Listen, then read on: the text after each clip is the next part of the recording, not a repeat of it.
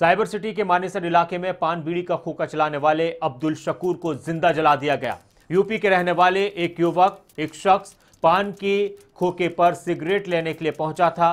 Cigarette के पैसों को लेकर विवाद बढ़ता चला गया, जिसके बाद 9 बजे दोबारा आरोपी खोखे पर पहुँचा और खोखे के अंदर बैठे बुज़ुर्ग पर पेट्रोल डालकर उन्हें ज़िंदा जला जला दिया। पुलिस ने आरोपी को गिरफ़्तार कर लिया है, तफ्तीश शुरू कर दी है। लेकिन एक बड़ा वाकया एक सनसनीखेज ये हर घटना थी कि एक बुज़ुर्ग को ज़िंदा जला दिया गया। पेट्रोल डालकर साइबर सिटी में पान, सिगरेट वगैरह का खोखा चलाने वाले एक गरीब शख्स को, एक बुज़ुर्ग शख्स की इस तरह से बेदर्दी से हत्या कर दी गई।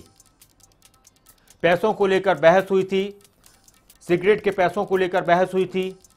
बताया जा रहा है उसके बाद एक शख्स जब ये पहुँचा था सिगरेट लेने के लिए तो उस दौरान पैसों को लेकर विवाद बढ़ा। यूपी का रहने वाला यह शख्स था जिसने बुज़ुर्ग के ऊपर यह हमला किया और उनको पेट्रोल डालकर जला दिया। सिगरेट के पैसों को लेकर विवाद बढ़ता चला गया, जिसके बाद ये शख्स दोबारा रात नौ बजे करीब वहाँ पर पहुँचा और उसने खोखे के अंदर बैठे बुज़ुर्ग पर पेट्रोल डाल दिया और उन्हें ज़िंदा जला दिया। पुलिस ने आरोपी को गिरफ़्तार कर लिया है। इस पूरे मामले की तफ्तीश की जा रही है। लेकिन इस तरह की घटना से एक बार फिर बहुत सारे सवाल खड़े हो रहे हैं कि आखिर क्या इस घटना के पीछे यही वजह थी या कोई और वजह थी? कि क्या सिर्फ़ पैसों के लेन देन के चलते ही एक बुज़ुर्ग की हत्या कर दी गई ज़िंदा जलाकर, या फिर इसके पीछे कोई और वजह थी? इसका भी खुलासा, इसका भी पर्दाफाश होना ज़रूरी है।